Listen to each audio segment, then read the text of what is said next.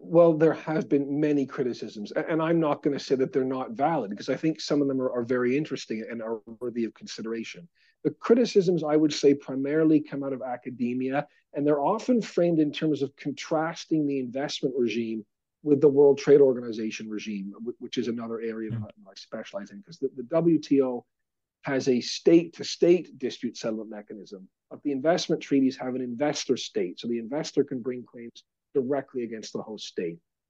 Why is this so offensive to so many people? Well, it's perceived as being an affront to sovereignty. And the sovereignty that I'm referring to is the sovereignty of that host country's judicial system.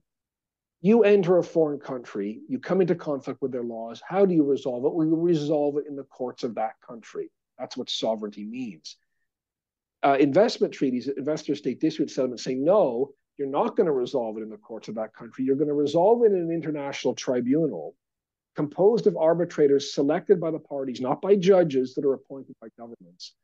And in many uh, times, you'll see these uh, hearings being conducted in, in private and, and, and with a, a, less than coherent body of jurisprudence behind them, and some inconsistencies and so on. But it's really this idea of not allowing the host state courts to resolve the dispute, and it, this being an affront to sovereignty.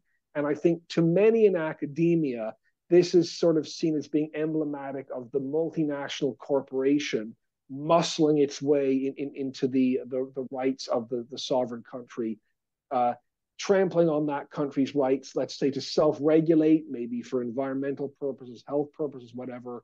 And, and all these legitimate forms of regulation, if you will, being reframed as expropriations. Right. Well, the, the country wants to impose an environmental law. Oh, well, that's an indirect expropriation, and I deserve compensation for it. So that's the essence of the criticism. And there's definitely some validity in that.